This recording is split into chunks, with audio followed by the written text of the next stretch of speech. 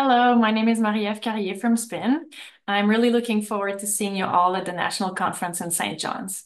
I will be presenting on our self-management program that was designed to provide the knowledge, the skills, and the confidence that are essential to managing the many challenges of scleroderma.